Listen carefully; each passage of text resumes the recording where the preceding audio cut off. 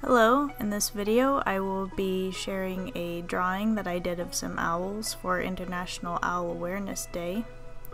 I'm using a crow quill pen with some Higgins calligraphy ink as a base and then I will be laying in some darker blacks from a Pentel pocket brush and a couple of microns.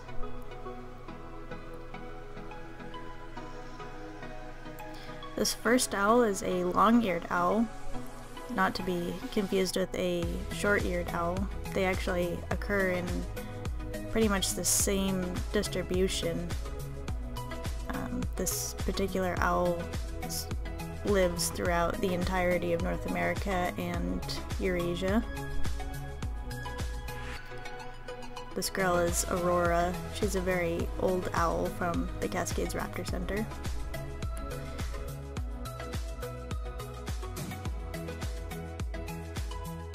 Uh, this owl is a barn owl, another really widely distributed owl, and the only bird on this page that is from the family Tytonidae.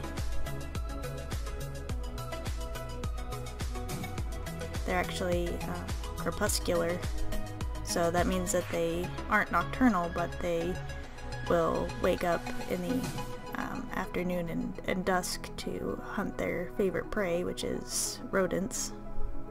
This owl's name is Padawan. He has a bit of a um, head injury that prevents him from hunting in the wild. This next owl is a Eurasian eagle owl.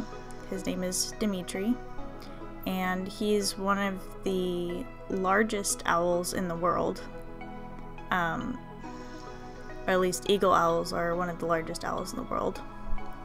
His species will actually hunt uh, other predators, uh, including like hawks and buzzards, as well as foxes and hedgehogs. Um, some people have even reported them going after deer and lambs and livestock. Um, very interesting species. He's also one of the only birds on this entire page that uh, does not belong to North America. He's only found in Europe and in Asia, as his name suggests.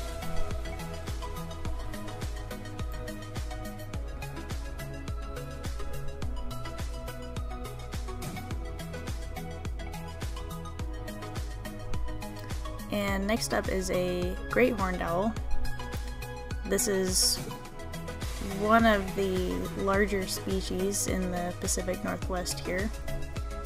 And they're also called tiger owls for their tiger-like stripes. Uh, this one is Lorax. Our, her name is Lorax. She's not a Lorax.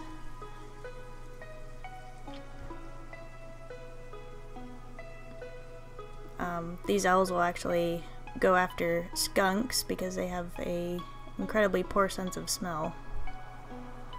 So they're, they're not actually bothered by the smell of skunks.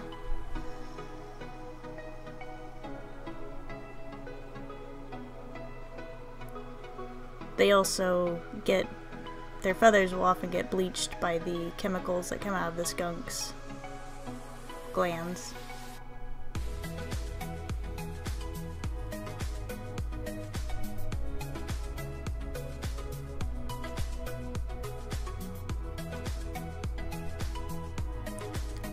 And next up is a burrowing owl.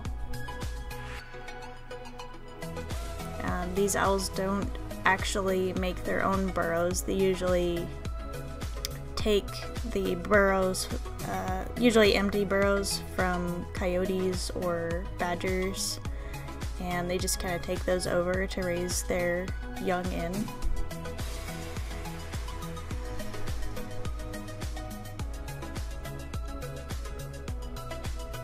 This one's name is Raw.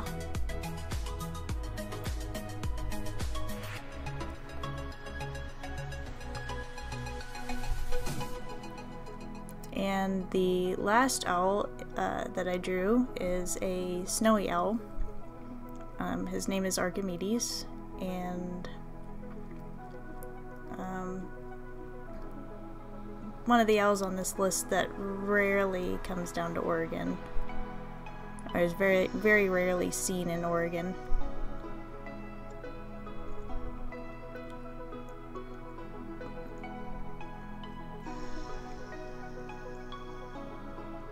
They're typically seen around the Arctic Circle.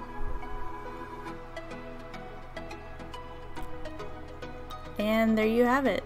Um, if you like this video, uh, please send us a like or a comment um, possibly subscribe.